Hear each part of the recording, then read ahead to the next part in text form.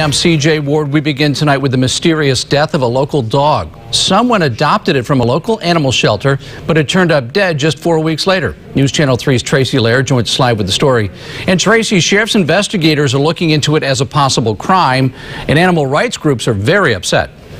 They are, CJ, they are distraught. They have zero tolerance for animal cruelty, and they believe this is a serious case.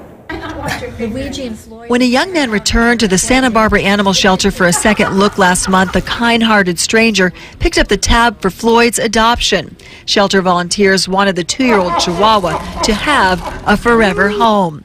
Monday, a witness who wishes to remain anonymous reported that the dog had been buried.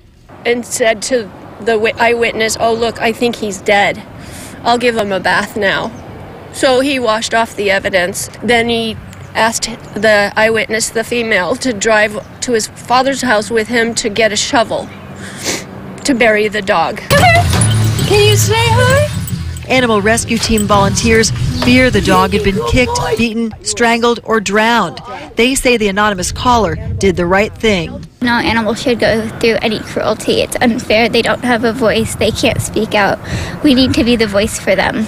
The sheriff's PIO confirmed they are investigating, but they have not named the suspect. The dog's remains have been recovered from a Goleta yard and may be held as evidence.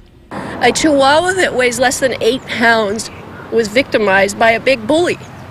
When does it stop? DiSieno is the founder of Davy's Legacy, a 501c4 that pushed for the prosecution and deportation of a man who killed the nonprofit's namesake. Davy's Legacy is changing its name to Animal Abuse Task Force and plans to fight for tougher animal cruelty sentencing.